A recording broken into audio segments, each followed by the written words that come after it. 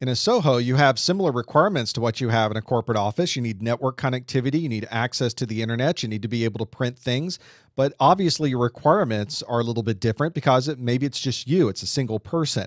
So you don't have quite the same type of equipment that you'll use, although the functionality will be very similar. One example is with your internet connection. Back at your corporate office, you might have a very big router that has large internet connections on it, lots of pipe, lots of speed. But in your home office, you don't need that kind of bandwidth. Usually, you would purchase right off the shelf an internet router, or maybe the ISP that's providing you with this service is giving you the internet router to use as part of the contract that you have with them. This is not only just giving you access to the internet, but often these devices are providing things like network address translation, so you can plug in multiple devices there in your Soho and use that single connection back out to the internet. Unlike an internet router you might get for your home, if this is a Soho, you might need a way to connect back to the corporate office over an encrypted tunnel. And so you might want to get a higher end internet router or one that has the capability of building IPsec tunnels from site to site. That way, everything that you send out over this connection back to corporate is in an encrypted tunnel. And even if somebody was able to tap into that link and see the data that was going by, they wouldn't be able to understand any of the traffic that was going through there, and all of your traffic would be absolutely secure.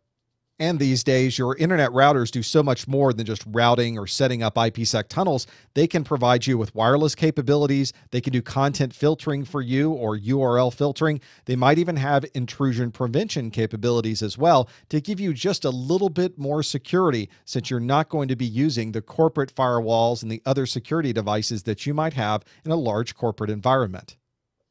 In a Soho, you don't have the luxury of a large chassis based switch with lots of blades that you can slide in cards in and out that have hundreds of ports in them, like you might have at a corporate office. In a home office, you only have a few devices that you might need to connect, so you might want to get a separate Ethernet switch just for that. These Ethernet switches have options to be managed or unmanaged, depending on whether your corporate office needs to access this device to see how well it's running, to see how much traffic is going through each port, to perhaps perform any type of remote support or diagnostics you would want to be able to get a switch that was managed, or you might get one that is unmanaged, which means the corporate office and the people who are doing the technical work on this device may not be able to get a lot of information about the health of the switch. But unmanaged devices tend to cost a lot less, so you've got some advantages from a cost perspective there. Sometimes you've got additional features built into some of these switches, different speeds that you can do on different ports. You can configure different VLANs on the switch.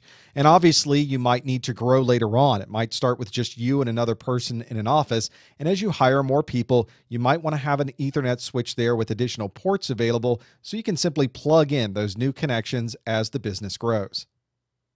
At your corporate office, you might have a scanner, you might have a printer, that might be a separate fax machine. But in a Soho, you don't have a lot of room, and usually it's just you that needs to operate these, so you don't have a lot of need for people to do multiple things at one time.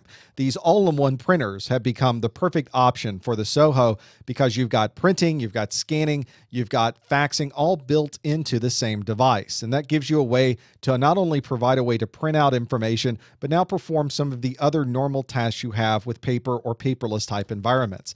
These are usually networked. You plug them into a network connection. They might even be able to connect to the wireless network, so you don't even have to physically plug it into a switch. You just turn it on, it finds your wireless network, and then over the wireless network, you can print directly to it or scan directly from it.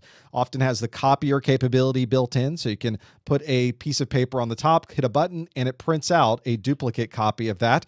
It also usually can scan for you. So if you've received some information you would like to share with someone else who's not at your local home office or, or small office, you can scan that piece of paper and then simply email somebody a PDF version of the piece of paper that you have in your hand. And occasionally, you do need fax capabilities, especially in legal environments and medical environments. You still have to be able to send a facsimile over a telephone line from one end to the other, and these all in one devices can provide that as well. So, as you're setting up your small office or home office, make sure that your devices are specifically designed to handle the needs for somebody who is in one of these smaller working environments.